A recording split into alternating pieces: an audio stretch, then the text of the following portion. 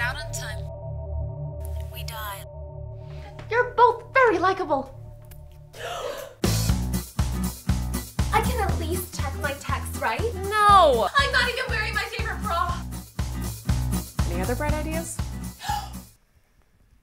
no, it's gone. I had no idea a prerequisite for this room was a frontal lobotomy. Maybe it's Morse code. No.